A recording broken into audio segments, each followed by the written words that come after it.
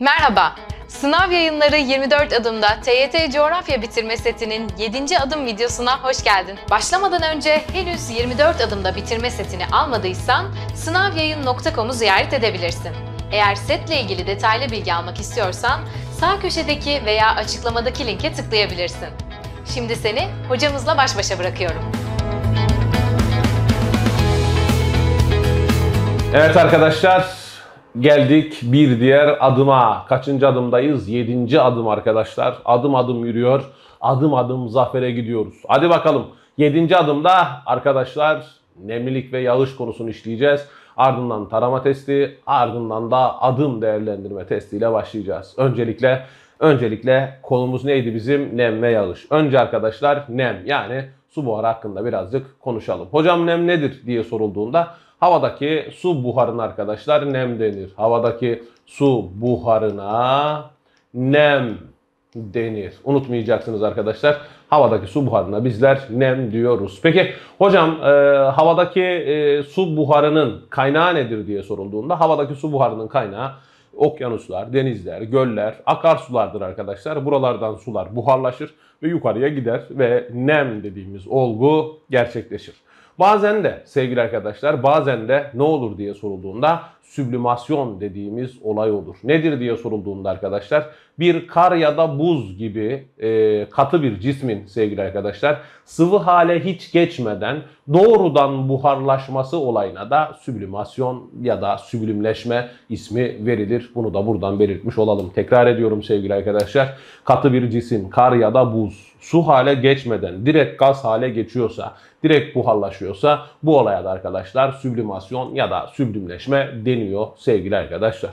Su göllerden, denizlerden, akarsulardan, okyanuslardan buharlaşacak. Sonrasında yükselecek. Sonrasında tekrar yeryüzüne yağış olarak dönecek. Buna arkadaşlar su dolaşımı ya da su döngüsü ismini veriyoruz sevgili arkadaşlar. Bunu da burada belirtmiş olalım. Yani dünyadaki nem, dünyadaki su sevgili arkadaşlar ne yapmaz? Hiçbir zaman sevgili arkadaşlar tükenmez. Hiçbir zaman sevgili arkadaşlar yok olmaz dedik. Bunun sebebi ve gerekçesi nedir diye sorulduğunda bunun sebebi ve gerekçesi arkadaşlar su döngüsüdür. Suyun buharlaşmasıdır dedik sevgili arkadaşlar. Bakın arkadaşlar dünyanın yaklaşık %71'i sularla kaplıdır. Yani hem kuzey yarımkürede hem de güney yarımkürede okyanuslar daha fazla yer kaplar. Bunu unutmayın arkadaşlar. İnsan vücudunun da yine büyük bir çoğunluğu sudan ibarettir sevgili arkadaşlar. Unutmayacaksınız. Evet, şimdi arkadaşlar e, bu havadaki su buharı ile alakalı bazı fikirler var. İşte nem türleri var. Mutlak nemdir, bağlı nemdir. Onlarla alakalı da arkadaşlar konuşacağız. Sıkıntı, problem yok. Şimdi arkadaşlar gelelim bir pekiştirme sorularına bir bakalım. Yeryüzünde nemin oluşmasını sağlayan ana faktörlerden biri de buharlaşmadır dedik. Doğrudur. Göllerden, akarsulardan, derelerden sular buharlaşır diye ifade ettik arkadaşlar. Buna göre aşağıdakilerden hangisi herhangi bir yöredeki buharlaşma miktarını artıran etmenlerden biri değildir demiş. Rüzgarın kuru ve sıcak olarak esmesi buharlaşmayı artırır. Havanın bağıl nem oranının az olması buharlaşmayı artırır. Sıcaklığın yükselmesi buharlaşmayı artırır. Havanın nem açığının fazla olması buharlaşmayı artırır. Havadaki bağıl nem oranının fazla olması olmaz. Şimdi bağıl nem yağış demektir arkadaşlar. Konuşacağız birazdan da. Bağıl nemin artması demek orada sıcaklığın düşük olduğu anlamına gelir ki sıcaklığın düştüğü yerde de buharlaşma az olur. Bilginiz olsun. Peki gelelim arkadaşlar şu sorumuza. Yukarıdaki görselde numaralandırılmış oluşumların hangisiyle ilgili bilgi yanlış verilmiştir diyor. Arkadaşlar burada bir su döngüsü var. Gördüğümüz gibi bize bunu vermiş.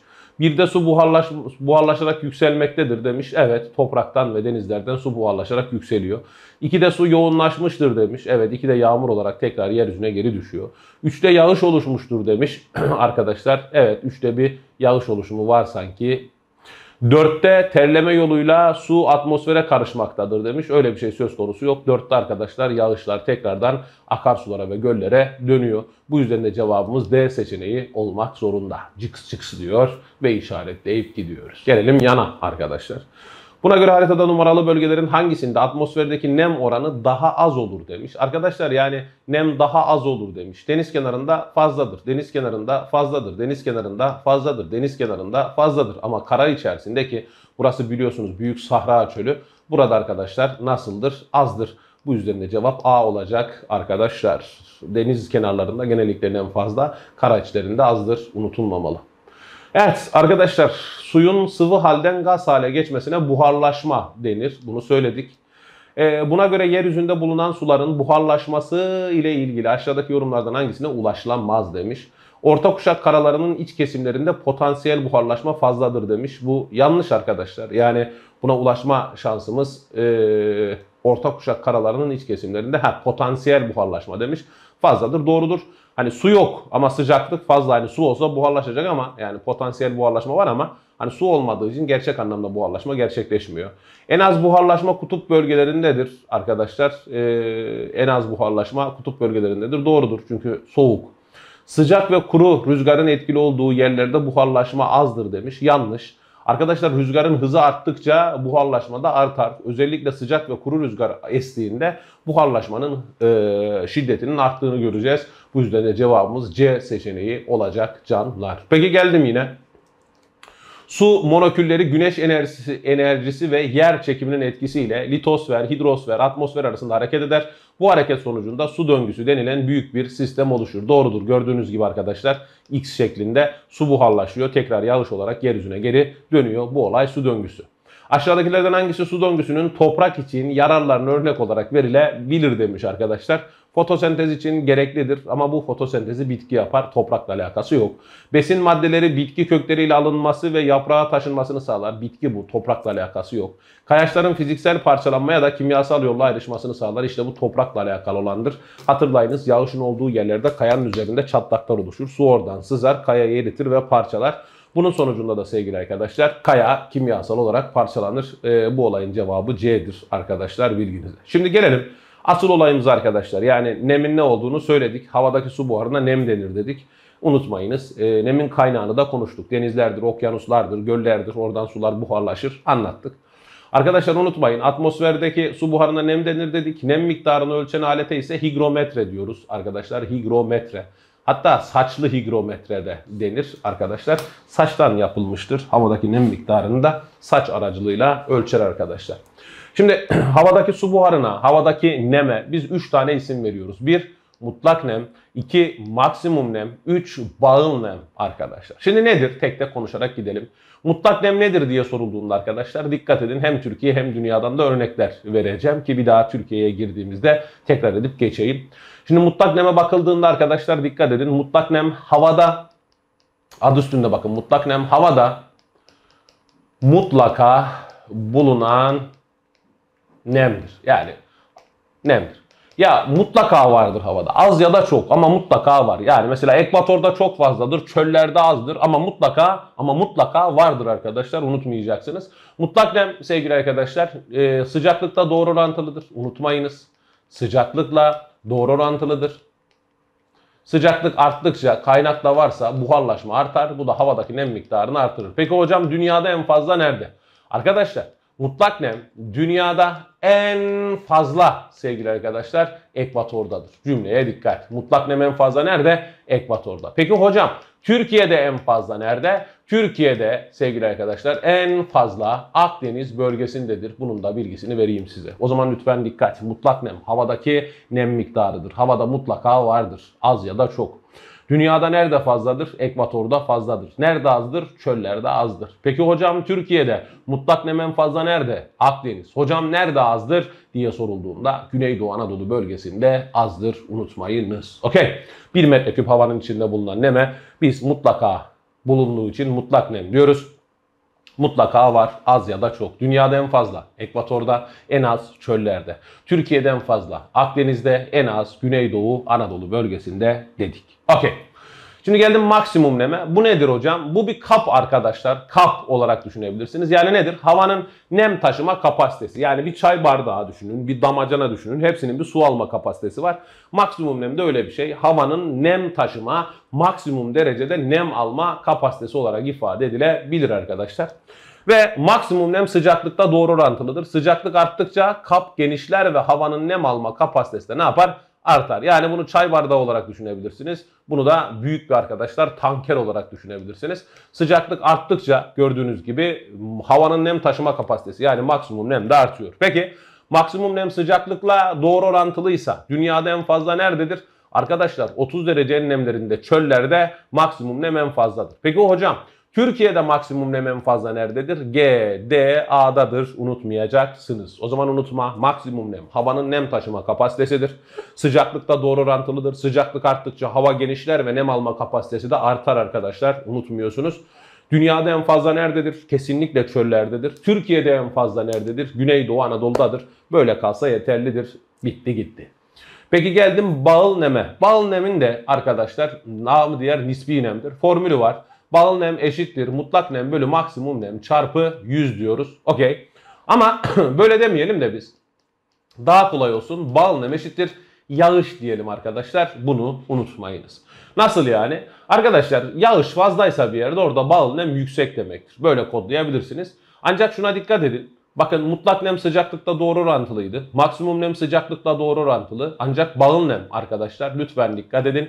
Sıcaklık ile ters orantılıdır. Nasıl orantılı? Ters orantılıdır. Unutmuyorsunuz. Niye? Çünkü bir yerde yağışın oluşabilmesi için sıcaklığın düşmesi gerekiyor arkadaşlar. Unutmayınız. Peki hocam bağıl nem dünyada en fazla nerede diye sorulduğunda ekvatorda. Niye? Çünkü yağış var. Yağış her zaman fazlaysa, her gün yağıyorsa ekvatorda. Peki hocam Türkiye'de bağıl nem en fazla nerede? Türkiye'de bağıl nem en fazla Karadeniz bölgesinde dedik. Unutmayacaksınız arkadaşlar. O zaman lütfen dikkat ediniz. Mutlak nem havada mutlaka bulunan nemdir. Maksimum nem havanın nem taşıma kapasitesidir. Bağıl nem ise yağış demektir. Yani havanın taşacağı anlamına gelir arkadaşlar. Bakınız burada bize vermiş mutlak nemler belli. Ee, maksimum nemler belli. Bağıl nemler belli. Yoğunlaşma olup olmadığı da belli. Şimdi böyle sorularda şöyle yapın. Maksimum neme kap deyin arkadaşlar. Kap. Mutlak neme su deyin. Bağıl neme de zaten taşması olayı. Şimdi 1.6 gram alıyormuş. Tamam mı? E 10 litre su koymuşum. E bu taşmış abi. 9 litresi taşmış ve yağış oluşmuş zaten görüyorsunuz. Tamam mı? Yağış olmuş. Yağış. Bitti bağlı nem %100. Yağmur yağdı çünkü. Şimdi 2,5 litre su alıyormuş. 2.35. E ben buna 10 litre su koymuşum. Kap 2,5 litre su alıyor. Ben 10 litre su koymuşum. 7,5 litresini atmış taşmış. Yani yağış oluşmuş. Onun dışında dikkat edin. Benim kabım ne kadar su alıyormuş? 9 litre. Ben ne kadar koymuşum? 10 litre. Oba yine taşmış yine yağış oluşmuş. Aynı mevzu. Dikkat edin kabım 30 litre su alıyormuş. Ben 10 litre su koymuşum. Balın nem %32. Yağış var mı? Yağış yok. Hikaye bu. Şimdi böyle sorularda arkadaşlar dikkat edeceksiniz. Tamam Adam bana sordu şimdi. Hangisinde sıcaklıklar daha yüksektir? Balın nemin en düşük olduğuna bakacaksın. Balın nemin en düşük e, bunda mı? Evet bunda. O zaman bu şu demek gençler. En sıcak bu. Tamam. Peki en soğuk hangisidir? Yağışın en çok olduğudur arkadaşlar. Bakın 8.4 oranında yağış oluşmuş. O zaman en soğuk merkezde budur. Çünkü bal nem sıcaklıkta ters orantılı. Eğer bal nem yüksekse arkadaşlar sıcaklık düşük. Bal nem düşükse o zaman sıcaklıklar yüksek arkadaşlar. Buna dikkat etmekte fayda var. Şimdi gelelim şu nem türleriyle alakalı soruları çözelim. Sorular üzerinden de olayı pekiştirelim arkadaşlar. Gelin bakalım. Bu tabloya göre verilen merkezlerle ilgili aşağıdakilerden hangisi yanlıştır? Bir de bağlı nem oranı en azdır demiş. Bakıyorum 1'e e, maksimum nemim 17 litre su alıyormuş arkadaşlar. Dikkat ederseniz şayet tamam mı? İçerisine 10 litre su koymuşum. Arkadaşlar 7 litrelik bir boşluğum var. Dolayısıyla evet burada bağlı nem en azdır arkadaşlar. 2'de yağış oluşmuştur diyor. Kabım kaç litre su alıyor? 9 litre. Ne kadar su koymuşum? 10 litre taşmış ve yağış var. Bu da doğru arkadaşlar. Üçte yağış yağmur şeklindedir demiş. Arkadaşlar nereden anladım yağmur şeklinde olduğunu? Sıcaklığa baktım ben. Sıcaklığa baktım ben. Sıcaklığa baktım ben. Bak 6 litre kapasitem var. 10 litre su koymuşum. Taşmış yağış oluşmuş. Ama diyor ki enteresan olan şu yağmur şeklindedir diyor. Sıcaklık sıfırın altına düşmediği için o zaman kesinlikle yağış yağmur şeklindedir. Dörtte balın nem oranı yaklaşık %50'dir demiş. Bakıyorum dörde. Aa, evet. Ne yapmışız? Bakın arkadaşlar kabım 4 litre, 4,5 5 litre su alıyor. 10 litre su koymuşum. Burada bağlı nem %100'ü aşmış arkadaşlar. Yani yağış var. Dolayısıyla %50'dir deme şansımız kesinlikle yok. Şöyle olsaydı kabım örnek veriyorum 10 litre olsaydı 5 litre su koysaydım o zaman olurdu. Ama benim kabım hangisi? Kabım maksimum nem. Kabımın potansiyeli 5 litre. Ben ne kadar su koymuşum? 10 litre. Bu kap taşmış. Burada yağış var. Dolayısıyla 4'te bağlı nem %50'dir. Yanlış. Yemezler %100'dür. %100'den fazladır, taşmıştır demek lazım. Peki geldim. Aşağıda 3 farklı dağ yamacında hava kütlesinin hareketi gösterilmiştir. Olur. Buna göre kaç numaralı dağın yamaçlarında yağış oluşması beklenir demiş. Bakıyorum yükseliyorum. Yağış oluşur. Ee, onun dışında arkadaşlar alçalan hava yağış getirmez. Unutmuyorsunuz. Burada da yükseliyor arkadaşlar. bu da denizden değil de karadan yükseliyor. Bu da yağış getirmez. O zaman yağış getirecek olan hangisidir? Birdir. Yani cevap A'dır arkadaşlar bilginize. Şunu unutmayın her zaman yükselen hava yağış getirir. Kesinlikle alçalan havanın yağış getirme durumu söz konusu değildir. E bu da burada yükseliyor ama kurak yerden yükseliyor. Bunda da yağış yok. O yüzden de cevabımız A seçeneği oldu arkadaşlar. Yine nemin dünyada dağılışıyla alakalı bir soru var. Ona bakacağız gençler. Şimdi bakıyorum sıcaklık yüksek olduğu bölgelerde maksimum nem, doyma noktası yüksek, sıcaklığın düşük olduğu yerlerde doyma noktası az olur. Buna göre verilen yerlerin hangisinde doyma noktası en fazla olması beklenir? Yani maksimum nem en fazladır diyor. Sen de ben de biliyoruz ki maksimum nem dünyada en fazla nerede? Çöllerde. Büyük sahrayı aldım. A'yı işaretledim. Cix cix dedim. Geçtim. Hikaye bu. Bitti gitti. Arkadaş hikaye bu. Maksimum nem sıcaklıkta doğru orantılı. Dünyada en fazla çöllerde, Türkiye'de en fazla GDA'da. Sordu hangisinde maksimum nem daha fazla? Ben gittim çölü aldım. Bitti. Bu kadar basit biliyorsan yapıyorsun. Geldim Yukarıdaki sıcaklık değerleri ve mutlak nem miktarları verilen merkezlerin hangisinde nem açığı daha fazladır? Dur bakalım. Neyi vermiş bana? Mutlak nemi ve sıcaklığı. Sıcaklık maksimum nem vermediyse sıcaklığı hemen kap deyin. Maksimum yerine nem yerine hesaplayın. Şimdi bu kaç litre su alıyormuş? 25. Ne kadar su koymuşum? 15. %10'luk bir boşluk var. Şey 10 delik bir boşluk var. Kabım ne kadar su alıyor? 15. Ben ne kadar koymuşum? 20. 5 litrelik bir boşluk var. Kabım ne kadar su alıyor? 15. Ben ne kadar su koymuşum? İşte 17. 2 litrelik bir boşluk var. Kabım ne kadar su alıyor? 15. Ben ne kadar su koymuşum? Abba 30. O, burada fazlam var benim. Tamam mı? Ne kadar fazlam var? Yok kabım ne kadar sıcaklık? Oo tamam. Anda burada. Burada 15'lik bir şey var ama %50'lik bir açık var arkadaşlar. Nem miktarı verilen yerlerin hangisinde nem açığı daha fazladır demiş. Arkadaşlar 4'te nem açığı daha fazla. Niye? Kabım arkadaşlar 30 litre alıyor. Ben sadece 15 litre koymuşum. Burada bağlı nem %50. O zaman %50'lik bir boşluk var. Bu yüzden de cevabı D yaptım arkadaşlar bilginize. Bir daha söylüyorum, uyarıyorum. Maksimum nem verseydi maksimum nemi kap olarak alacaktım. Maksimum nemin vermediği yerlerde sıcaklığı kap olarak al. Oranla devam et. Tamam. Hadi bakalım. Şimdi arkadaşlar nemleri gördük, nem türlerini gördük. Gelelim yoğunlaşma ürünlerine. Şimdi arkadaşlar yoğunlaşma nedir? Önce ona bakalım. Havadaki su buharının, havadaki su buharının katı ya da sıvı hale geçmesi olayına bizler yoğunlaşma diyoruz sevgili arkadaşlar. Bilginiz olsun. Tekrar ediyorum. Havadaki su buharının katı ya da sıvı hale geçmesine bizler yoğunlaşma ismini veriyoruz. Şimdi arkadaşlar yoğunlaşma türlerine bakıldığında yoğunlaşma türlerinden birincisi buluttur arkadaşlar. Hocam bulut. Şimdi nasıl olur? Havadaki su buharı yoğunlaşır ve havada asılı halde kalır. Bu olay arkadaşlar biz yoğunlaşma deriz ve oluşan yoğunlaşma türüne de bulut ismini veririz. Yani havadaki su buharının yerden yükseklerde yoğunlaşarak asılı kalmasıyla oluşan yoğunlaşma türüne biz bulut diyoruz. Peki şimdi bulutları biz yükseltilerine göre gruplandırıyoruz arkadaşlar bakıldığında. Biz bulutlara diyoruz ki işte alçak bulutlar, stratüsler, orta bulutlar, kümülüsler, bir de yüksek bulutlar, sürüsler diyoruz. Şimdi bakıldığında arkadaşlar şöyle yapabiliriz ya da hatta direkt metrelerini yazarak anlatayım size. Yükseltisi arkadaşlar 3000 metreye kadar olan bulutlara stratüs denir ki bunlar kara bulutlardır. Gök gürültülü sağanak yağışlara sebep olabilirler. Gökyüzü zifiri karanlık olduğunda şişe şeklinde yağmur başlayıp ardından şiddetli bir yağmur bindiğinde anlayın ki bulut stratüs bulutudur. Yükseltisi 3000 ile 6000 metre arasında olan bulutlara bakıldığında bunlar arkadaşlar nedir diye sorulduğunda bunlar kümülüs bulutlarıdır. Bunlar ne bulutları? Kümülüs bulutlarıdır arkadaşlar. Bilginiz olsun. Peki 6000 metrenin üzerinde yüksek bulutlar var. Bunlar da Sirius bulutlarıdır diye ifade edeceğiz. O zaman dikkat et. Bulutları biz kaç ayırdık yükseltisine göre? 3'e ayırdık. 3000 metreye kadar olanlar stratüsler. 3000 6000 arasında olanlar kümülüsler. 6000 metrenin üzerinde olanlar Siriusler. Gökyüzü zifiri kapalı. Bulutlar simsiyah. Stratüs. Kümülüsler nasıldır? Gökyüzünde böyle pamuk yığınını andıran bulutlar vardır. Böyle bakınca psikolojine göre bir şeye benzetirsin. Aa aslana benziyor. Aa kaplana benziyor. Aa dedeme benziyor dediğim bulutlar işte onlar hangileridir? Onlar kümülüslerdir. Sirüsler ise çok ince bulutlardır. Gökyüzünde böyle küçük küçük nokta nokta gördüğünüz yoğunluğu fazla olmayan bulutlarda sirüs bulut olarak karşımıza çıkıyor arkadaşlar. Bunun bilgisini vermiş olalım sizlere. Tamam. Buraya da dikkat etmekte fayda var. Önemli ve kıymetli arkadaşlar demedi demeyelim. Peki. Şimdi arkadaşlar bulutluluk diye bir şey var. Nedir bulutluluk diye sorulduğunda. Arkadaşlar nefometre dediğimiz aletle ölçüdür.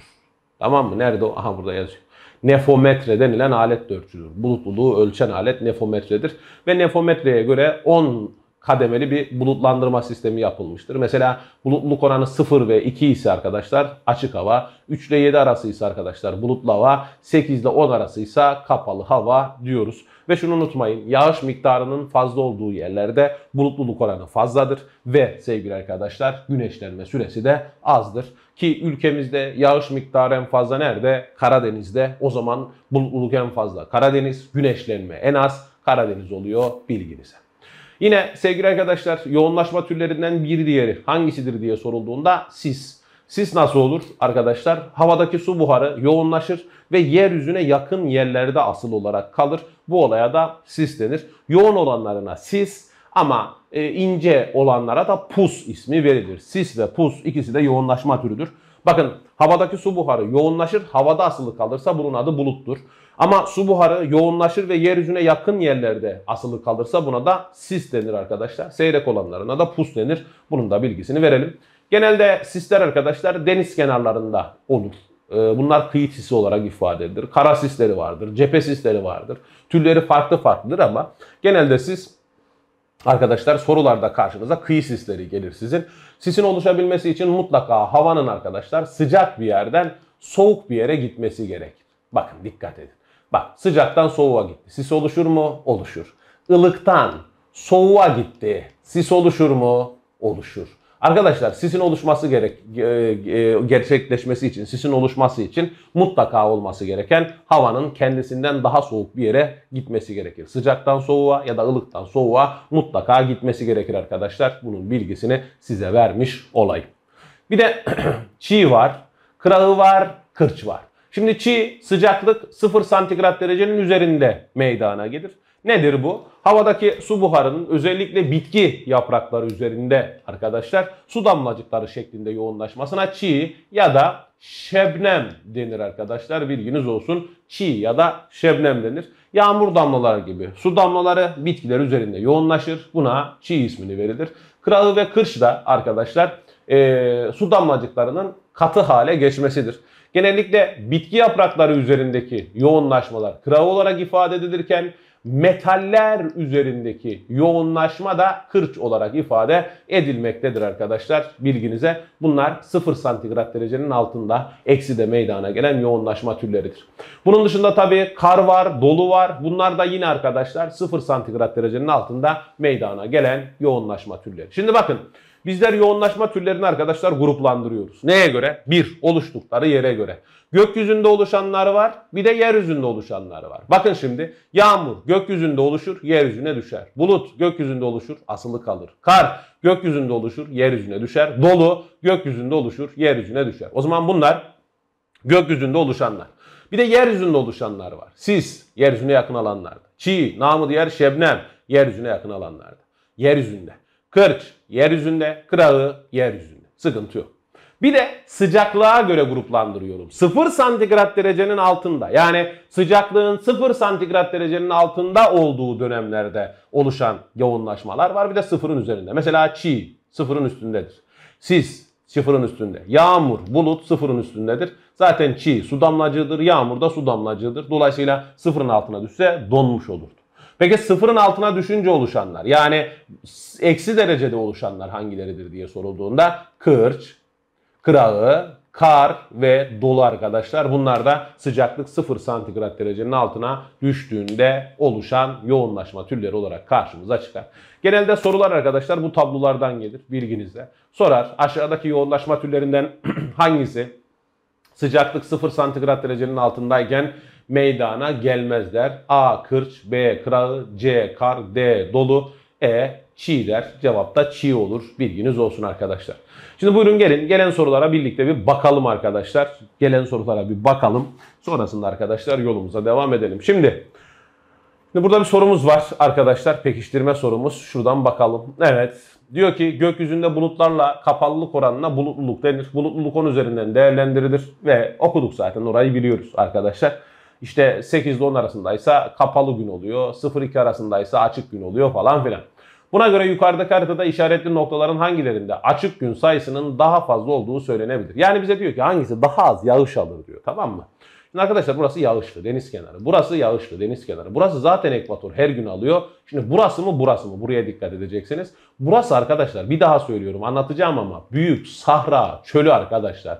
Burası çöl. Buraya yağışın, yağmurun ne zaman düşeceği belli olmaz. E yağış yoksa, yağmur yoksa o zaman arkadaşlar hava zaten açıktır. Hava zaten güneşlidir. Bu yüzden de cevabımız C olacak. Sabaha karşı bitkiler üzerinde oluşan yoğunlaşma kış mevsiminde genelde buz kristali şeklinde, ilkbahar aylarında da yaz aylarında da su damlacıkları şeklinde olur. Yani kışın diyor kırç olur. Yazın ve ilkbaharda da diyor çiğ olur. Tamam anladım. Bu durum aşağıdakilerden hangisinin farklı olmasının kaynağıdır? Tabi sıcaklığın yani sıcaklık sıfırın altına düşüyorsa kırç ama sıcaklık sıfırın üzerindeyse çiğ olur. Hemen bakalım öyle bir şey. Arkadaşlar bakın yoğunlaşma sıcaklıklarının diyeceğiz. Sıcaklık sıfırın altına düştüğünde kırç oluşuyor. Sıcaklık sıfırın üzerindeyse çiğ oluşuyor. Mantık tam olarak bu canlar buna dikkat etmekte fayda var. Bakın biraz önce anlatmıştım sis türlerini. Genelde kıyı sislerini sorar dedik. Zaten soruda da geldi hemen. Arkadaşlar bakıldığında bu yargılara göre aşağıdakilerden hangisinde gösterilen ortamda sis oluşmaz demiş. Sisin oluşması için bir daha söylüyorum. Havanın her zaman nereden gitmesi lazım? Sıcaktan soğuğa gitmesi lazım. Başka alternatif yok. Bakın arkadaşlar sıcaktan soğuğa geliyor. Dikkat ettiniz mi? Sis oluşur. Arkadaşlar soğuktan sıcağa geliyor. Sis oluşur mu? Olmaz. Sıcaktan soğuğa sis oluşur. Ilıktan soğuğa sis oluşur. Arkadaşlar yine söylüyorum sıcaktan serine yani kendisinden daha soğuk bir yere gidiyor sis oluşur. Ama B'de oluşmaz. Niye? Soğuktan sıcağa gidiyor. Sisin oluşabilmesi için mutlaka havanın kendisinden daha soğuk bir yere gitmesi gerekiyor arkadaşlar. Bunun bilgisini size vermiş olalım. Peki. Geldim. Buna göre yukarıda haritada gösterilen okyanus akıntılarından hangisinin böyle bir etki yaptığı söylenemez. Soğuk su akıntıları etkiledikleri kıyılarda sıcaklığı, buharlaşmayı ve yağış miktarını azaltır demiş. Yani hangisi diyor? Soğuk okyanus akıntısı değildir. Bak geliyor okun yönüne bak kutuplardan bu soğuk. Bak bu buradan geliyor kutuplardan okun yönüne bak bu soğuk. Tamam mı? Bak bu kutuplardan geliyor okun yönüne bak bu soğuk. Bak buna kutuplardan geliyor okun yönüne bak bu soğuk. Ama bak buna bak bu ekvatordan gidiyor. Gulf Stream bu bu sıcak. O zaman sıcak olan Gulf Stream böyle bir etki ne yapmaz? Yaratmaz. Cıks cıks. Birazcık bilgi, birazcık mantık, birazcık tecrübe gördüğünüz gibi soruları tıkır tıkır çözdürüyor arkadaşlar. Peki gelelim yağış ve yağış türlerine geleceğiz. Şimdi yoğunlaşmadan bahsettik zaten. Konuştuk. Sıkıntı problem yok. Yağışların çoğunu da gördük. Mesela dedik ki yağmur 0 santigrat derecenin altında oluşur. Kar sıcaklık sıfırın altına düşünce oluşur. Dolu sıcaklık 0 santigrat derecenin altına düşünce oluşur dedim. Ben size zaten bunları biraz önce yoğunlaşmanın içerisinde anlattım canlar. Şimdi buraya gelindiğinde oluşumlarına göre yağış türleri var. Nasıl olacak bu? Yağış tipleri var. Şimdi arkadaşlar şurada şekiller üzerinden anlatalım ki sıkıntı problem olmasın. Altına da hem dünya hem Türkiye olarak gruplandırayım ki gelecekte Türkiye'yi anlatırken bir kere daha hatırlatıp geçeyim. Şimdi birinci yağış türü yamaç yağışı. Dikkat ederseniz denizden gelen nemli hava kütlesi yamaç boyunca yükselir. Yükseldikçe soğur. Sonrasında yoğunlaşır. Yağış bırakır. Biz buna yamaç yağışı deriz. Hocam yamaç yağışı en fazla nerede? Arkadaşlar yamaç yağışı dünyada en fazla Muson Asyası'nda. Nerede? Muson Asyası'nda. Hatırlıyor musun? Yaz musonu vardı. Hint okyanusundan geliyor. Hint yarımasındaki Gat dağlarına takıp yağış bırakıyordu. Peki hocam Türkiye'de en fazla nerede? Arkadaşlar yamaç yağışları Türkiye'de en fazla canlar Karadeniz bölgesinde görülür bilginize dedim. O zaman unutma yamaç yağışı nasıl oluşur? Denizden gelen nemli hava kütlesi yamaç boyunca yükselir. Yükseldikçe soğur, yoğunlaşır, yağış bırakır. Dünyada en fazla Muson Asyası'ndadır. Türkiye'de en fazla Karadeniz'de. Peki geldi. Onun dışında arkadaşlar cephe yağışları var. Sıcak ve soğuk havanın karşılaştığı yerlerde olur arkadaşlar. Sıcak ve soğuk havanın karşılaştığı yerlerde meydana gelen yağışlar cephe yağışlarıdır. Hocam dünyada en fazla nerede? Dünyada en fazla arkadaşlar orta kuşaktadır. Nerededir? Orta kuşaktadır arkadaşlar. Peki hocam Türkiye'de nerede? Türkiye'de arkadaşlar Türkiye'de en fazla dikkat edin bakın arkadaşlar Marmara, Ege, Akdeniz ve GDA'da görülür arkadaşlar. Ülkemizde Marmara, Ege, Akdeniz ve Güneydoğu Anadolu'da görülüyor. Üçüncüsü ise konveksiyonel yağışlar. Hocam nasıl oluşur? Isınan hava yükselir, yükselen hava soğur, yoğunlaşır ve yağış bırakır. Biz bunu arkadaşlar konveksiyonel yağış deriz. Peki konveksiyonel yağışlar dünyada en fazla nerede? Arkadaşlar dünyada en fazla arkadaşlar nerededir diye sorulduğunda konveksiyonel yağışlar dünyada en fazla ekvatoral bölgededir. Ekvatordadır arkadaşlar. Peki hocam Türkiye'de nerede? Türkiye'de ise sevgili arkadaşlar iki yerde görülür. İlkbahar mevsimi geldiğinde dikkat İç Anadolu'da unutmuyorsunuz. Ama yaz mevsimi geldiğinde Doğu Anadolu bölgesinde görülüyor arkadaşlar. Bunun da bilgisini size vermiş olalım. O zaman unutmuyoruz. Aklımıza kodladık. Şimdi yamaç yağışları hakkında bahsettim ben size.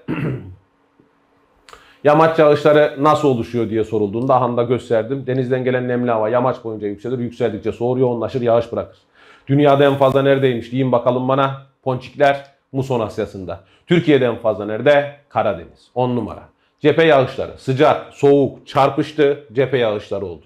Dünyada en fazla orta kuşak. Niye? Ekvatordan gelen sıcakla kutuplardan gelen soğuk orta kuşakta çarpıştı ve oldu. Peki Türkiye'de Güney Marmara, Ege, Akdeniz ve Güneydoğu Anadolu'da görülüyor. Süpersin. Konveksiyonel nasıl oluşur? Konveksiyonel ısınan yükselir, yükselen soğur, yağış bırakır. Dünyada en fazla ekvatordadır. Türkiye'de en fazla ilkbaharda İç Anadolu, yazın ise Doğu Anadolu bölgesinde görülür arkadaşlar bilginize.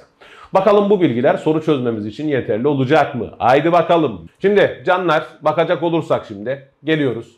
Yukarıdaki oluşumu gösterilen cephe yağışları için demiş. Yargılarından hangileri doğrudur? Cephe yağışları için yargılarından hangisi doğrudur? Türkiye'de daha çok kışın etkilidir. Olur, kışın etkilidir. Yükseltinin fazla olduğu yerlerde görülür. Ben böyle bir şey söylemedim. Yalnızca deniz kıyılarında görülür. Arkadaşlar ben yine böyle bir şey söylemedim. Bir cevabımız olacak yalnız bir. Türkiye'de genelde arkadaşlar Akdeniz bölgesi, Güney Marmara, Ege, Güneydoğu Anadolu yağışı kışın alır. Çünkü cephe yağışları genel itibariyle Türkiye'ye kışın düşer arkadaşlar bilginize. Peki geldim bir diğer sorumuza. Buna göre yukarıdaki haritada işaretlenen alanların hangisinde yamaç yağışları yaz mevsiminde daha fazla olduğu söylenebilir. Şimdi yamaç yağışları dünyada en fazla neredeydi? Nerede dedim ben size? Muson Asyası'nda dedim değil mi? Adam bir de çerez koymuş, yazın demiş. Zaten yaz musonundan dolayı alıyor. Bu yüzden cevabım ne oldu? E seçeneği oldu arkadaşlar dikkatinize. Bak birazcık bilgi, birazcık tecrübe, birazcık dikkat. Soruyu zaten ne yapıyor? Çözdürüyor arkadaşlar. Arkadaşlar yağışımız e, konveksiyonel yağış. Yukarıda oluşumu gösterilen yağış şekliyle alakalı. Türkiye'de yıl boyunca görülür. Yok öyle bir şey. Türkiye'de ne zaman görülür diye sorulduğunda arkadaşlar ilkbahar ve yazın. İlkbaharda İç Anadolu, yazın Doğu Anadolu gitti. Termik etkenlere bağlı olarak oluşurlar demiş. Yani ısınan hava yükselir, yükselen hava yağış oluşturur. Olur ben bunu alabilirim. Onun dışında havanın bağıl nemi %100'ü aşmıştır. Tabi yağış varsa bağıl nemi %100'ü aşmıştır. Türkiye'de kıyılarda her mevsim görülür. Öyle bir şey değil. Kıyılarda değil de İç Anadolu ve Doğu Anadolu'da görülüyordu. Dolayısıyla arkadaşlar 2 ve 3 benim cevabım olacak. Güzel. Şuna da bir cıks yapalım. Cıks cıks. Peki. Geldim arkadaşlar. Okey.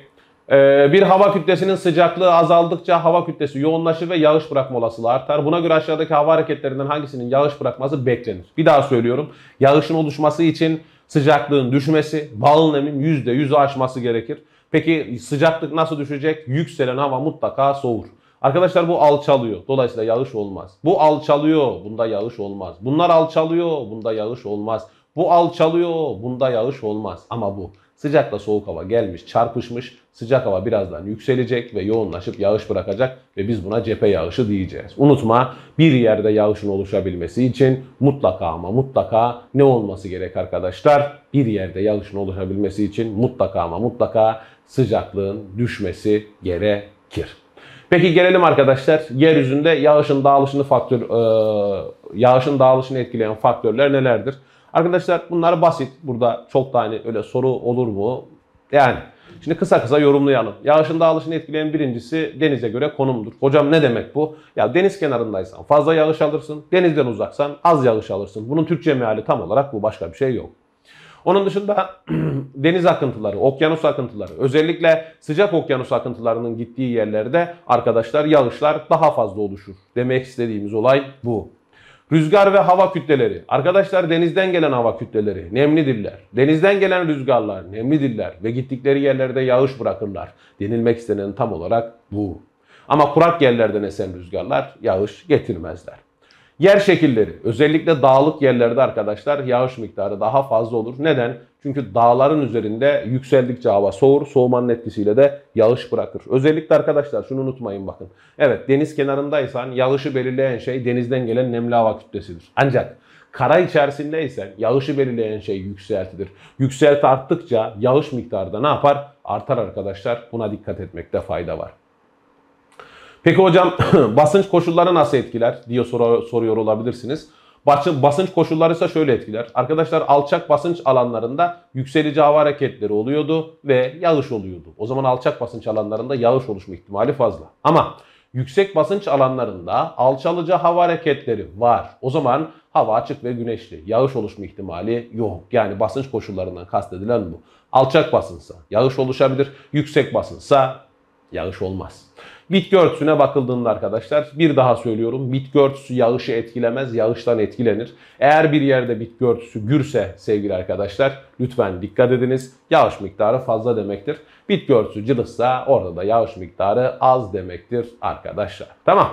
Şimdi bu grafikteki bilgilere bakıldığında arkadaşlar yağışın dağılışı ile alakalı bilgiler veriyor. Ben bunu birazdan anlatacağım size. Özellikle makro klimalarda bunları tek tek işleyeceğim. O yüzden burada değinmiyorum arkadaşlar. Bilginiz olsun. Şimdi gelelim bakalım. Şu pekiştirme sorularını bir çözelim arkadaşlar. Şimdi pekiştirme sorularına bakıldığında aşağıdaki gösterilen görselde birinci yamaçtaki yükselici hava hareketi yağış bırakırken ikinci yamaçtaki alçalıcı hava hareketi yağış bırakmaz. Doğrudur. Bu durum aşağıdakilerden hangisine kanıt oluşturur diyor arkadaşlar. Bakın birinci yamaçtaki ne yapmıyormuş? Birinci yamaçtaki arkadaşlar yağış bırakıyormuş ama ikinci yamaçtaki bırakmıyormuş. Gerekçesi nedir? Hava kütlesinin taşıyabileceği nem miktarının sıcaklığa göre değiştiğine demiş. Bu olur mu? Olur tabii ki. Şekli şöyle tam açalım. Kayıyor bu. Arkadaşlar bakın yamaç boyunca hava kütlesi yükseliyor. Yükseldikçe soğur, soğudukça yoğunlaşır ve yağış bırakır. Hava soğuduğu için arkadaşlar soğuduğu için e, ne yaptı? Bağıl nem arttı ve yağış bıraktı. Ama diğer tarafa indiğinde 100 metrede 1 santigrat derece ısınacak. Peki ısınınca ne olur? Isınınca maksimum nem artar ve yağış oluşma olasılığı ortadan kalkar. Bu yüzden de bu sorumuzun cevabı A seçeneği arkadaşlar. Yani yağış sıcaklığa bağlıdır. Sıcaklık düşerse yağış oluşur ama sıcaklık artarsa sevgili arkadaşlar yağış oluşmaz. Unutmayınız. Peki arkadaşlar uygulama kısmına uygulayalım birlikte. Şimdi aşağıdaki şekilde bir kış günü Trabzon yöresinde oluşan yağışlar gösterilmiştir. Denizden geldi hava, yamaç boyunca yükseldi ve Trabzon'daki dağların yamaçlarına yamaçlarına bolca yağış bıraktı. Tamam. Buna göre aynı hava kütlesinin Trabzon kıyısında yağmur bırakırken yükseklerde kar yağış oluşması. Dikkat! Yoğunlaşmanın sıcaklık e, sıcaklığın yağış miktarına etkisine, yoğunlaşmada sıcaklığın yağış şekline etkisine, dağların kıyıya göre konumunun yağış miktarı etkisine özelliklerinin hangilerini kanıtlar? Bakın burada bana neyi soruyor? Bana diyor ki Trabzon'da diyor dağların diyor alçak kesimlerinde ne yağıyor? Yağmur yağıyor. Ama diyor yukarıda diyor yaylalara doğru çıkınca, Sis Dağı'na doğru çıkınca bu sefer burada diyor kara dönüyor iş. Peki nasıl oluyor bu iş diye sorulduğunda arkadaşlar demek ki burada sıcaklık yükseltiye kadar azaldı. 5 dereceydi yağmur yağdı ama yükselti daha da artınca sıcaklık eksi 10'a düştü. O zaman neye döndü? Kara döndü. E buradan hareketle de şunu diyoruz. Yoğunlaşmanın sıcaklığı, sıca, e, yoğunlaşma sıcaklığının yağış şekline etkisine e, sıcaklık eksi olsa kar yağar, sıcaklık 5 ise yağmur yağar. Demek istediğimiz tam olarak bu arkadaşlar. Bu yüzden de cevabımız yalnız 2. Hocam işaretlemedim diyor. Yani B seçeneği olacak arkadaşlar bilginize. Peki geldim. Şimdi aşağıdaki grafikte iki bölgenin aylık yağış ortalamaları verilmiştir. İki bölgenin. Birinci bölge, ikinci bölge. Birinci bölge mesela en fazla yağışı görüyorsunuz sonbaharda almış. Nereden anladım? Eylül, Ekim, Kasım'da ciddi miktarda yağış almış. İkinci bölge ise sevgili arkadaşlar özellikle yazlar kurak geçmiş ve e, kışın yağış almış. Yalnızca grafikteki bilgilere dayanarak aşağıdakilerden hangisine kesinlikle ulaşılabilir demiş. Kesinlikle deyince burada bir duracaksın. Birinci bölgenin sıcaklık ortalaması daha fazladır. Buna ulaşma şansın var mı? Sıcaklık yok sadece yağış vermiş. İkinci bölgenin ortalama yükseltisi daha azdır. Yükseltiyi biliyor muyum ben? Sadece yağış miktarını vermiş. Hayır. Bölgede dağların kıyıya göre konumunu biliyor muyum ben? Hayır. Dolayısıyla sadece yağış vermiş. Birinci bölgede yağış rejimi daha düzenlidir. Bunu ulaşırım. Nereden anladım ben? Çünkü yağışlara bakın yağmış, yağmış, beyazlara bakın yağmış. Yazın da yağmış gördüğünüz gibi. Ama ikinci bölgede yazın direkt kuraklığa gitmiş. O zaman ikinci bölgede yazın şey birinci bölgede yazın da yağış aldığı için birinci bölgenin yağış rejimi daha düzenlidir diyeceğiz. Yani cevabımız D seçeneği olacak arkadaşlar bilginiz. Dünyada yağışın bölgelere göre dağılışını. Arkadaşlar bu bize soru olarak gelebilir. Dünyada bir fazla yağış alan yerler var. İki az yağış alan yerler var. Dünyada nereler fazla yağış alıyor? Nereler az yağış alıyor? Bizim bunları bilmemiz gerekiyor arkadaşlar. Mesela dünyada fazla yağış alan yerlerle birlikte başlayalım. Dünyada fazla yağış alan yerler bir ekvator çevresi.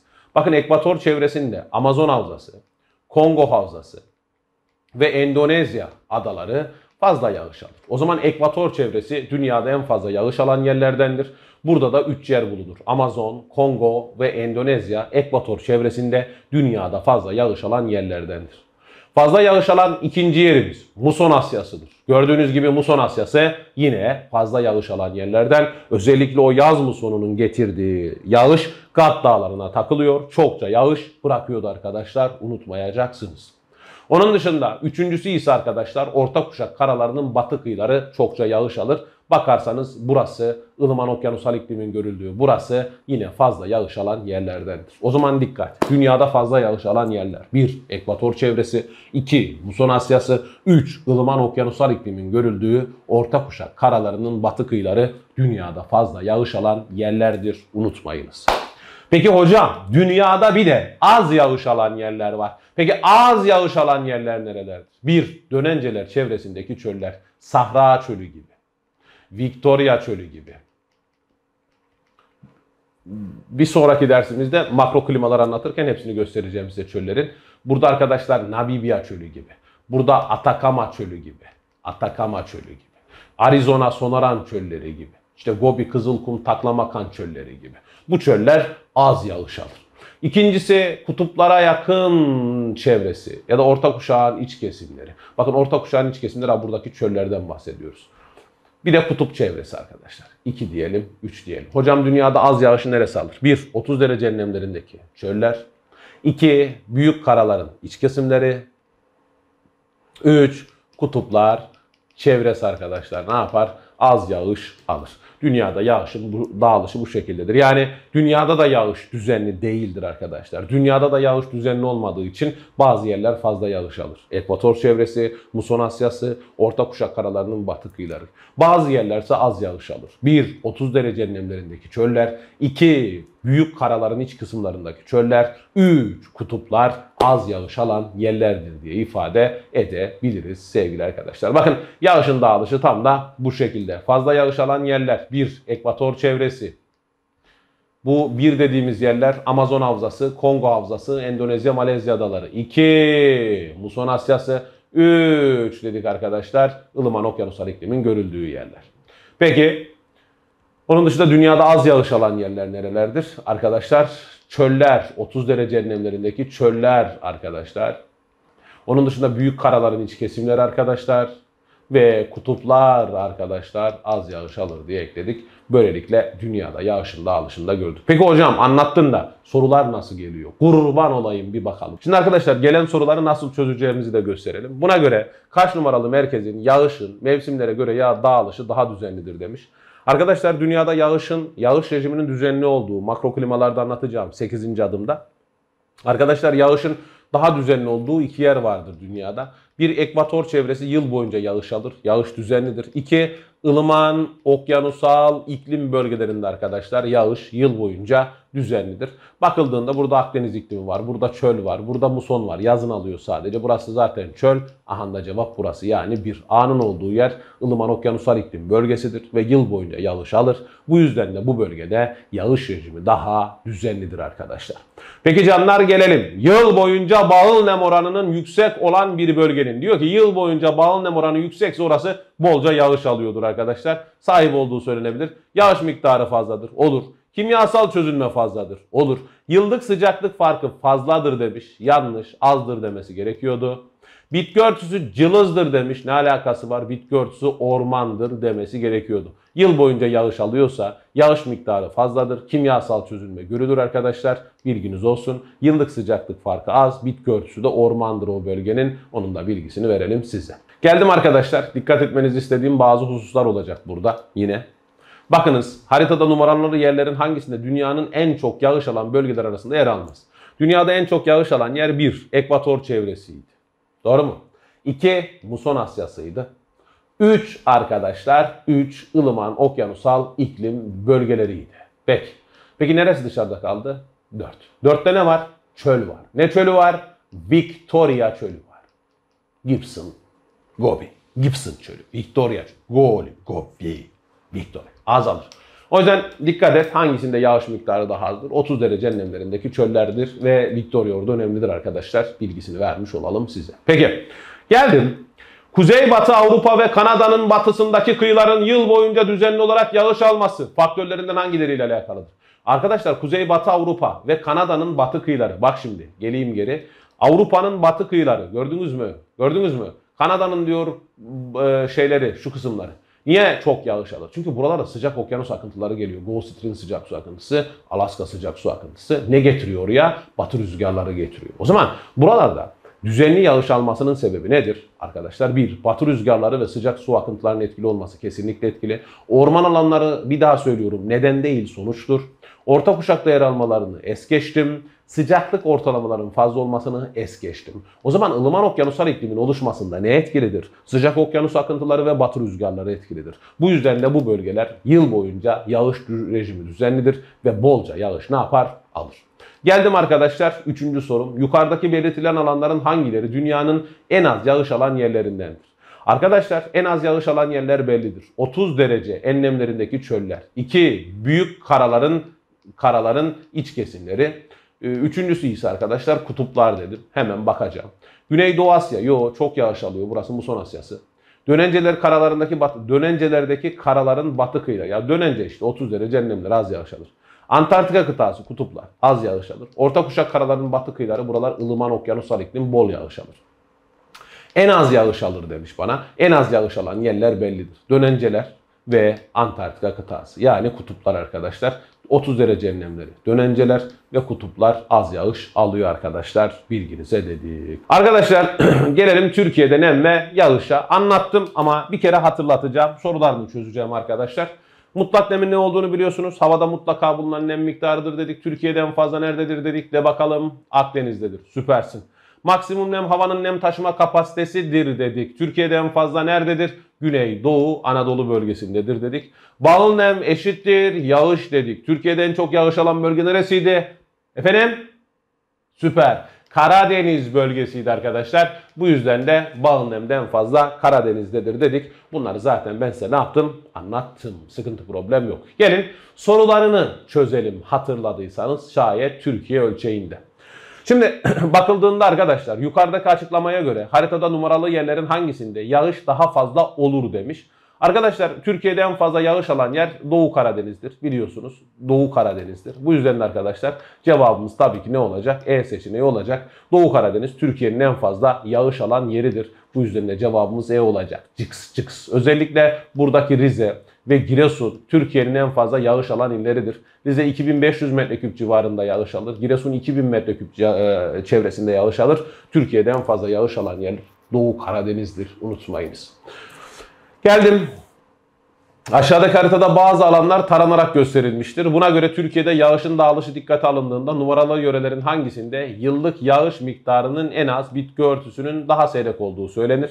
Arkadaşlar dikkat etmekte fayda var bence. Türkiye'de en fazla yağış alan yerler deniz kenarında olan yerlerdir. Bura gitti zaten fazla yağış alıyor. Burada fazla yağış alır gitti. Çok almasa da hani alır. Peki hangisi daha az yağış alır? Doğu Anadolu mu yoksa arkadaşlar İç Anadolu mu? Unutmayın Türkiye'nin en kurak yeri Konya Karapınar'dır. Tekrar ediyorum Türkiye'nin en kurak yeri Konya Karapınar'dır. Bu yüzden de bitki örtüsünün cılız olduğu yer burasıdır arkadaşlar. Bu yüzden de cevabımız B seçeneği olacak. Çıkıs çıkıs. Unutma Türkiye'de en az yağış alan yer Konya, Karapınar. Bu yüzden de Türkiye'nin en kurak yeri, Türkiye'de en az yağış alan yer Konya, Karapınar'dır. Yani cevabımız 2'dir arkadaşlar bilginize. Buna göre yukarıda haritada numarala, numaralanan alanların hangisinde ilkbaharda konveksiyonel yağışlar daha fazla olur? Şimdi bakın Konveksiyonel yağışlar dedik. Türkiye'de iki yerde görülüyordu. Bir İç Anadolu'da, iki Doğu Anadolu bölgesinde. İç Anadolu'da ne zaman görülüyordu anlattım. İlkbaharda görülüyordu. Peki Doğu Anadolu'da ne zaman görülüyordu? Yazın görülüyordu. O zaman şimdi bana diyor ya ilkbaharda görülür. İlkbaharda İç Anadolu yağış alacak. O zaman benim cevabım ne olacak? 2 olacak. Bitti. Bakın şimdi anlatayım. İç Anadolu ilkbaharda yağış alır. Doğu Anadolu yazın yağış alır. Karadeniz sonbahar alır. Anlattım ben size bunları biraz önce. Güney Marmara, Ege, Akdeniz ve Güneydoğu Anadolu ne zaman alır? Kışın alır. Siz şöyle yapın.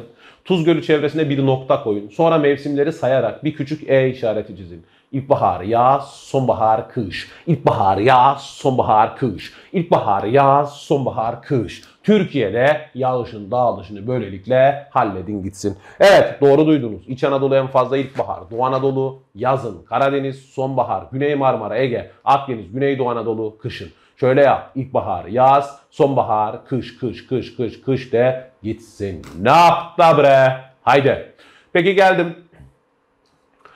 Arkadaşlar aşağıda haritada Türkiye'deki güneşlenme süreleri bölgelere göre verilmiştir. Doğru verilmiş. Güneşlenme süresinin buharlaşmayı etkilediği göz önüne alındığında haritadaki bilgilere göre yargılarından hangileri söylenemez demiş arkadaşlar. Söylenemez. Buharlaşmanın en fazla olduğu yer Güneydoğu Anadolu'dur. Doğru. Niye? Çünkü 3250 saat güneşleniyor. O zaman güneşlendikçe buharlaşma artar. Buharlaşma batıdan doğuya doğru gidildikçe azalır. Öyle bir şey var mı? Yok. Dikkat edin buharlaşma eğrisi normal gidiyor. Böyle bir şey yok arkadaşlar. Bu söylenemez.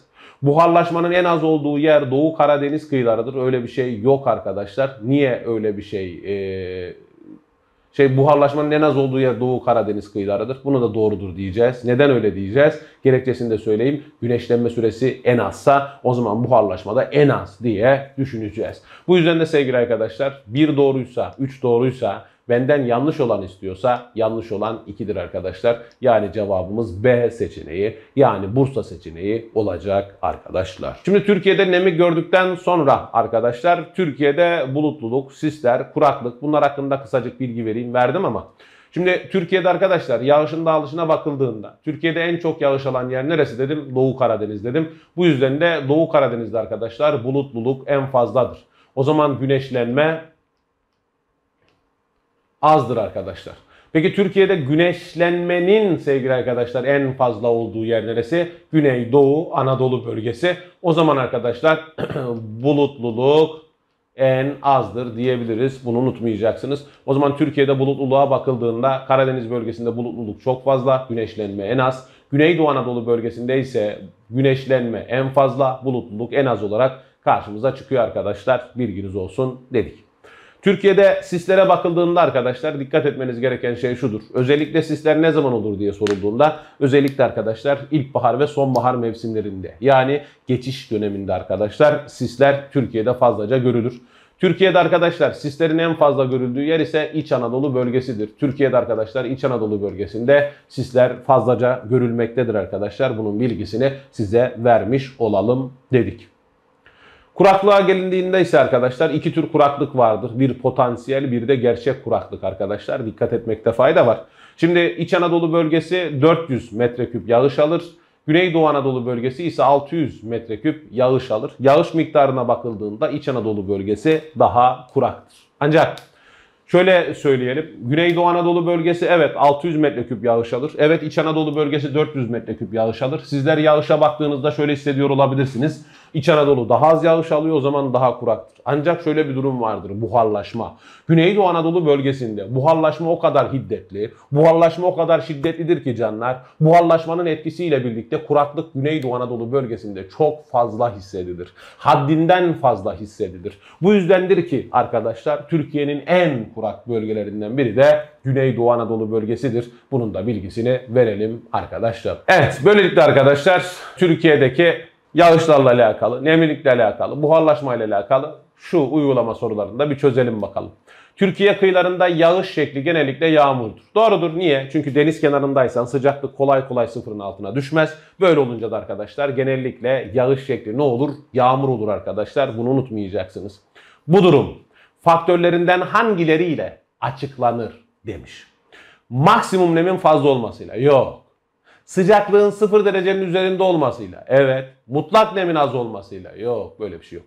Arkadaşlar genelde yağmur yağıyorsa demek ki genelde sıcaklık 0 santigrat derecenin üzerindedir. Bu yüzden de arkadaşlar ne yağıyordur? Yağmur yağıyordur. Yani hikaye bu, mantık bu arkadaşlar. Ötesi yok. Eğer kar yağsaydı o zaman diyecektik ki sıcaklık genelde 0 santigrat derecenin altında olduğu için diyecektik. Ama şimdi ne diyoruz? Diyoruz ki arkadaşlar 0 santigrat derecenin üstündedir. Bu yüzden de yağmur yağar diyorduk. Peki geldim. Aşağıdaki tabloda Akdeniz bölgesindeki 4 kentin yıllık ortalama yağış tutarı verilmiştir. Bakın Antalya, Adana, Mersin, Antakya 1052, 647, 619, 1124. Bu kentlerin tümünün denize kıyısı olduğu halde yağış tutarının farklılık göstermesi aşağıdakilerden hangisiyle açıklanır? Tabii ki arkadaşlar dağların uzanışıyla alakalıdır. Antalya'da dağlar, toroslar kıyıya paraleldir ve hemen deniz kenarından başlar. Bu yüzden de Antalya çok yağış alır. Hatay çok yağış alır. Ancak Adana ve Mersin'de dağlar biraz daha iç kesimdedir. Bu yüzden de arkadaşlar yağış miktarı orada daha azdır diyebiliriz. Bu yüzden de deniz kenarında yer almalarına rağmen, Akdeniz'de yer almalarına rağmen bu dört ilden Antalya ve Antakya'nın yani Hatay'ın fazla yağış alırken Adana ve Mersin'in az yağış almasının gerekçesi dağların yükseltisinin az ve daha içeride olmasıyla alakalıdır arkadaşlar. Orografik yağışlar bir yamaç boyunca yükselen nemli hava kütlesinin soğumasıyla oluşur. Güzel.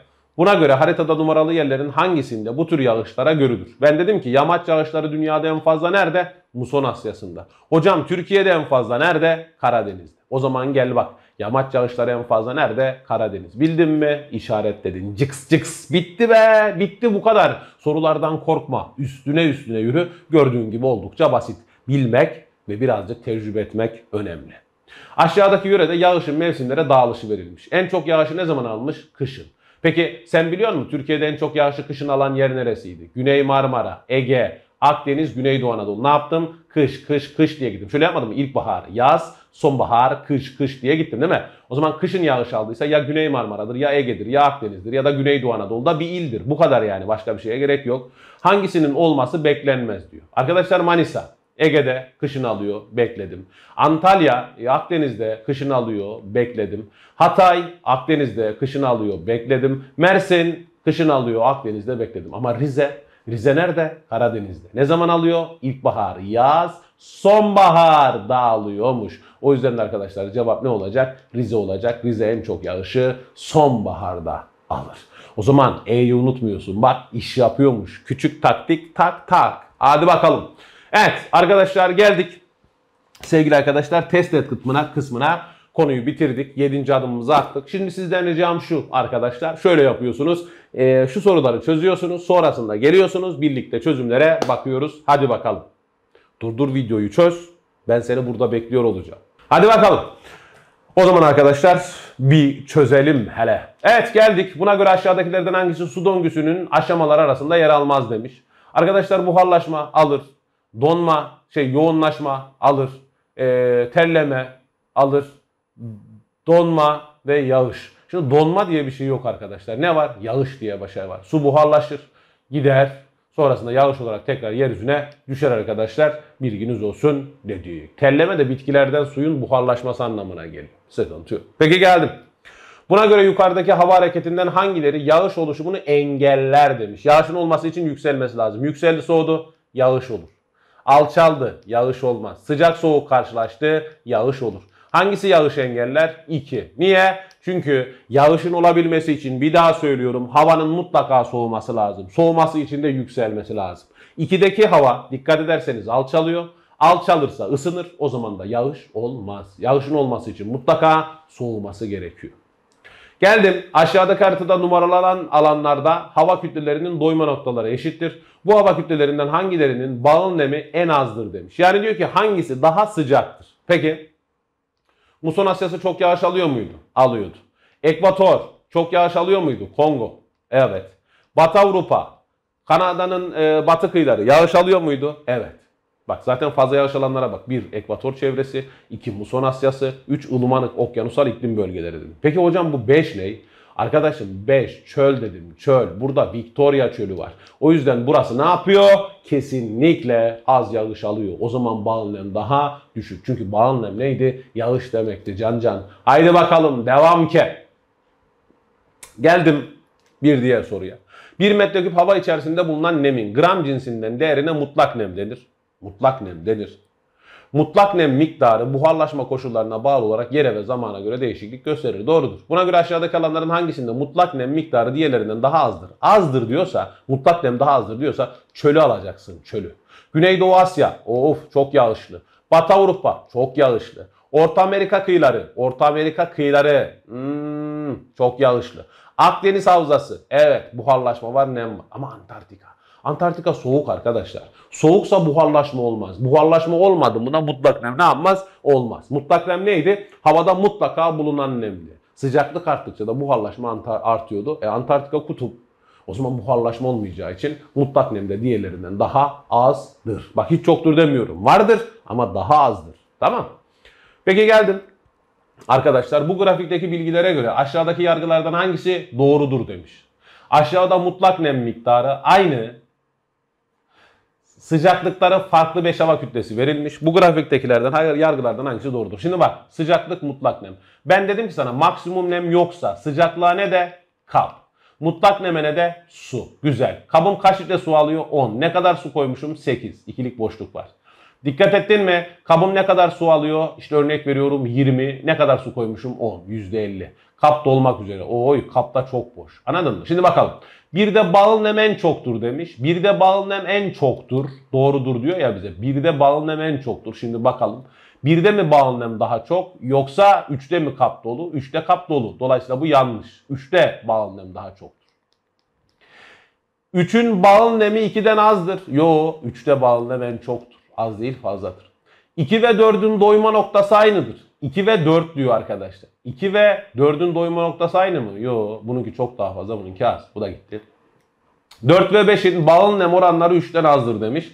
Evet 4 ve 5'in bağlı nem oranı 3'ten azdır. Evet çünkü bağlı nem en çok hangisindeydi? 3'teydi. O zaman doğru cevabım ne oldu? D oldu. Cıks cıks. Arkadaşlar yorumlamayı bileceksin. Sıcaklığa kap, mutlak neme su dedin. Sonrasında kabın doluluk oranına baktın. En dolu olan hangisi? 3. O zaman bağlı nem en çok hangisinde? 3'te. Bunu bilmen de zaten soruyu sana ne yaptı? Çözdürdü. 1, 2 bunlar hep zaten gördüğünüz gibi 3 ile alakalıydı. Çünkü ulaşabileceğim buradan bu.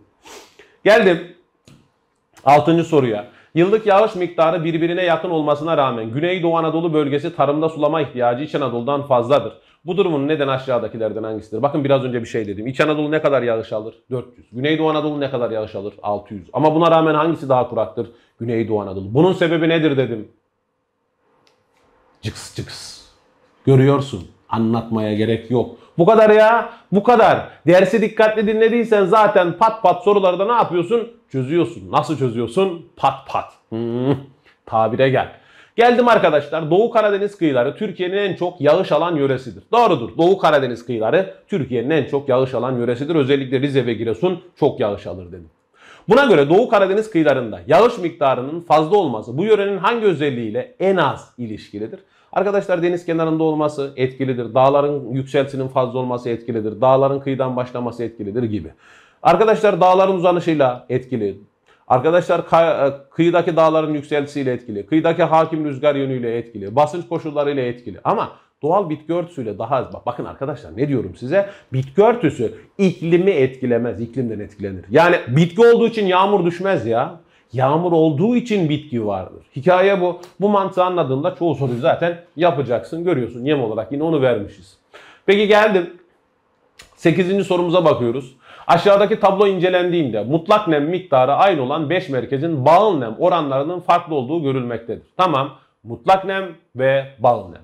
Bu durumun temel nedeni aşağıdakilerden hangisidir demiş. Tabii ki bu durumun nedeni maksimum nemlerinin farklı olmasıdır. Değil mi? Maksimum nemlerinin farklı olmasıdır. Peki maksimum nem yoksa neydi o? Sıcaklıklarının farklı olmasıdır diyeceğim. Ben biraz önce maksimum nemin olmadığı yerde sıcaklığa ne yazdım? Yağış yazdım. Şey kap yazdım değil mi? Şimdi de burada mutlak nem vermiş, maksimum nem yok. Diyor ki bağıl nemleri farklı. Şimdi benim seçeneklerde aramam gereken maksimum nemlerinin farklı olmasıyla ama fark, maksimum nem yoksa o zaman ne yapacağım? Bu sefer de sıcaklıklarının farklı olmasıyla diyeceğim. Çünkü sıcaklık arttıkça maksimum nem artıyor, kap genişliyor, havanın nem taşıma kapasitesi de düşüyor. Peki.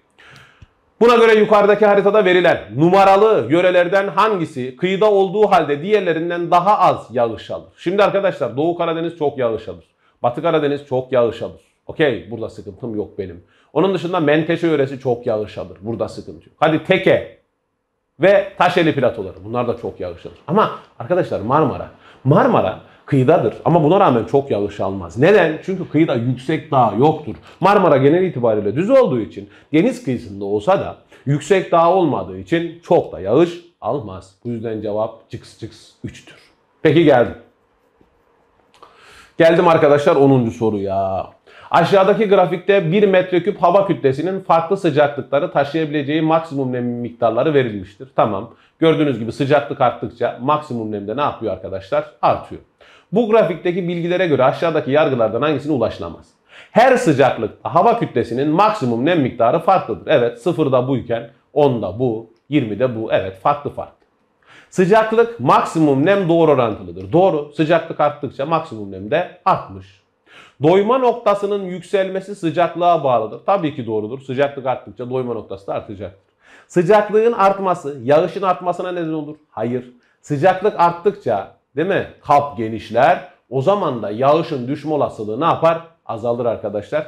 Yağışın düşmesi yağışın artmasına neden olur demesi gerekiyordu. Artması değil, sıcaklığın düşmesi yağışı artırır. Unutmayın çünkü bir yerde yağmurun yağışın olması için bir daha söylüyorum sıcaklığın düşmesi gerekir. Başka şansı yok.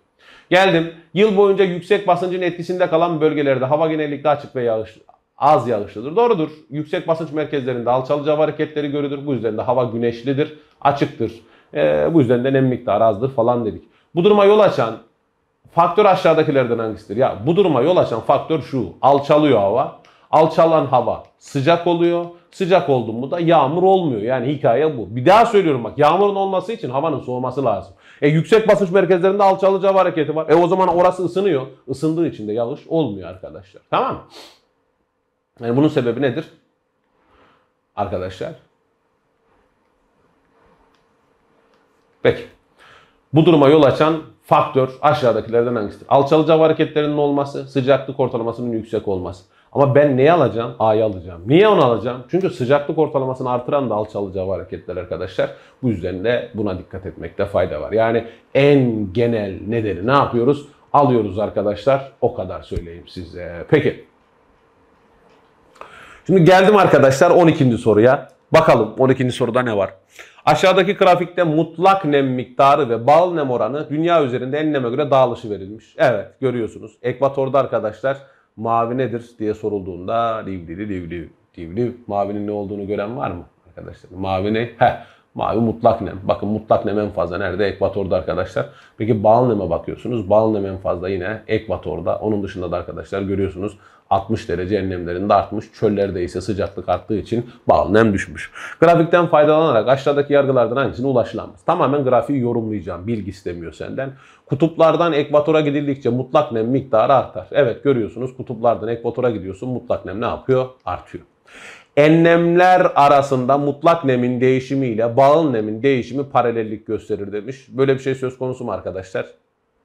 Çok da paralellik ne yapmıyor? Göstermiyor ama burada arttığı yerde bu da burada artıyor işte. Ama azaldığı yerde azalıyor mu? Yok. Yani enlemler arasında mutlak nemin değişimiyle bağıl nemin değişimi paralellik gösterir. Yanlış. Niye? Çünkü bir tanesi arkadaşlar sıcaklıkla doğru bir tanesi de ters orantılı. Peki geldim.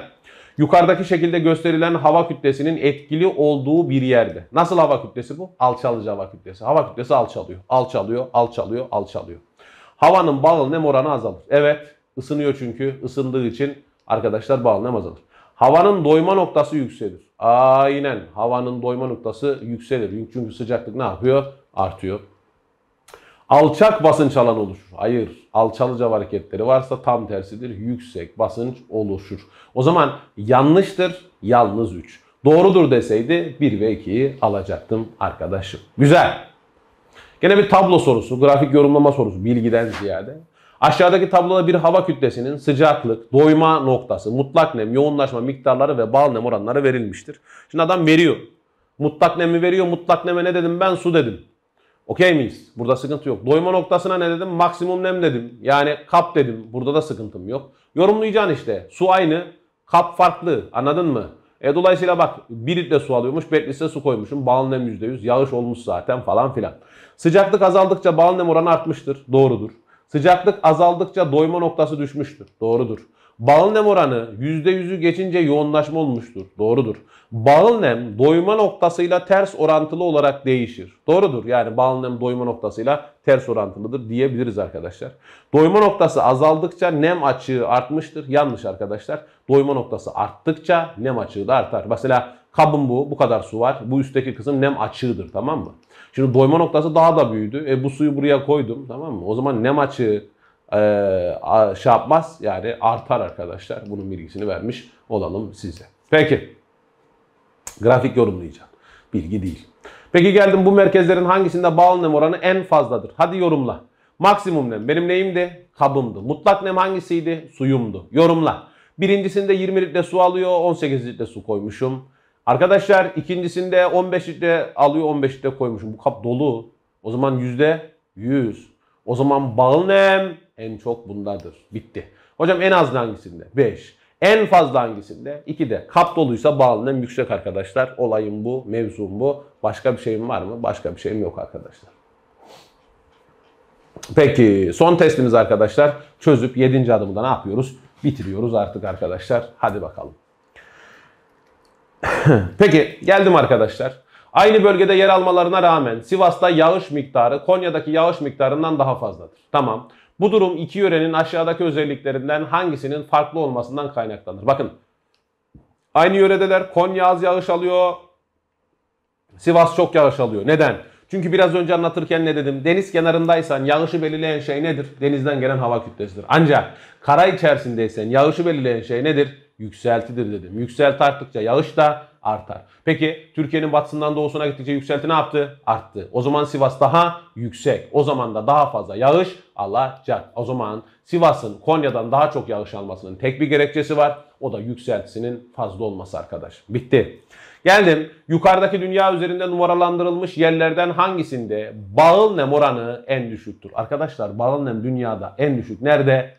Çöllerde. Çünkü çöllerde yağış yok, bağıl nemde yağış demek. Sen şimdi çölün yerini artık öğrendin diye düşünüyorum. Soru çöze, çöze gösterdim ama yine de işaretleyeyim. 4.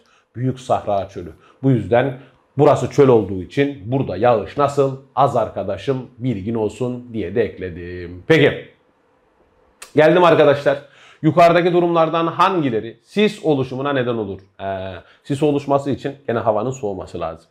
Nemli sıcak havanın daha sıcak bir yüzeye, daha sıcağa gidersen olmaz. Daha soğuk bir yüzeye gitmen lazım. Bu yüzden bu gitti. Sıcak ve soğuk su akıntılarının karşılaşması olur. Sıcak ve soğuk soğudu, sis oldu. Deniz yüzeyinde sıcak nemli hava soğuk kara yüzeyine geçerse, sıcak hava soğuğa giderse olur. Oluşumuna neden olur? 2 ve 3. Olmaz deseydi yalnız bir. Bakın bir daha söylüyorum. Sisin olabilmesi için havanın mutlaka kendisinden daha soğuk bir yere gitmesi gerekiyor. Tamam. Kendisinden daha soğuk bir yüzeye giderse sis her zaman oluşur arkadaşlar. Kriterim bu, şartım bu. Peki yukarıda numaralarla gösterilen basınç merkezlerinden hangilerinde nem açığı oluşmaktadır demiş. Nem açığı oluşmaktadır. Yani hangileri yüksek basınç merkezidir diyor. Bakıyorsun hava hareketi merkezden çevreye yüksek basınç. Hava hareketine bak çevreden merkez alçak basınç. Bak merkezden çevreye yüksek basınç. Hava hareketine bak çevreden merkeze alçak basınç. Şimdi alçak basınç merkezlerinde yükselici hava hareketleri görülür. Bu yüzden de arkadaşlar hava doyma noktasına yaklaşır, yağış oluşur. O zaman bunlar olmaz. Şimdi bana ne diyor? Nem açığı oluşmaktadır diyor. Nem açığı oluşacaksa yüksek basınç olacak ki hava yağıştan uzaklaşsın. O zaman 1 ve 3 arkadaşlar yüksek basınç merkezi olduğu için alçalıcı hava hareketleri görülür. Bu yüzden de yağış olmadığı için nem açığı daha fazladır arkadaşlar bilginize. Geldim Yağışın yıl içerisinde mevsimlere dağılışına yağış rejimi denir. Buna göre yerlerin hangilerinde yağış rejimi düzenlidir? Yağış rejimi düzenli olan iki yer var dedim. Bir ekvator, iki ılıman iklim bölgeleri ki bir sonraki adımda göreceğiz bunları. Arkadaşlar Amazon havzası ekvatorda yağış rejimi düzenli. Unutmayın bunu. Güneydoğu Asya çok yağış alır ama sadece yazın alır bu sondan dolayı düzenli değil. Kuzeybatı Avrupa, ılıman okyanusal iklim bölgesi düzenli. Akdeniz çevresi düzenli değil. Hangilerine düzenli? 1 ve 3. Okey, buraya dikkat. Onu da 8. adımda bu iklimleri de anlatacağız arkadaşlar. Mutlak ve bağlı nem değerleri grafikte gösterilen yerlerden hangisinde sıcaklık daha düşüktür? Sıcaklığın daha düşük olması için bağlı nemin daha yüksek olması lazım. Bağlı nemin en yüksek olduğu hangisidir diye sorulduğunda arkadaşlar bağlı nem en yüksek hangisinde? Bunda. O zaman en soğuk olan bu. Sıcaklığın en düşük olduğu bu. Peki bana deseydi ki hangisinde sıcaklık daha yüksektir? Sıcaklık yüksek deseydi o zaman da 2'yi alırdım. Niye? Bağlı nem orada daha düşük çünkü. Şimdi şöyle yapın. Kazanım döngülerinden hareketle doğru yanlışlarınıza bakın. Sonrasında geri dönüş sağlayabilelim sizlere. Peki arkadaşlar 7. adımı da bitirdik. Geldik sevgili arkadaşlar 8. adıma. Peki 8. adımda ne göreceğiz arkadaşlar? Makro klimaları yani büyük iklim tiplerini göreceğiz. O zamana dek sevgili arkadaşlar kendinize çok iyi bakın. Esen kalın diyorum. Görüşmek üzere. Bu adımın konu bölümünün sonuna geldik. Şimdi çalışma defterinde bu adıma karşılık gelen soru bankasındaki konu testlerini çöz ve takıldığın soruların çözümlerine sınav video çözüm uygulamasından bak. Uygulamayı henüz indirmediysen açıklama kısmındaki linkten hemen ulaşabilirsin. Bir sonraki adımda görüşmek üzere.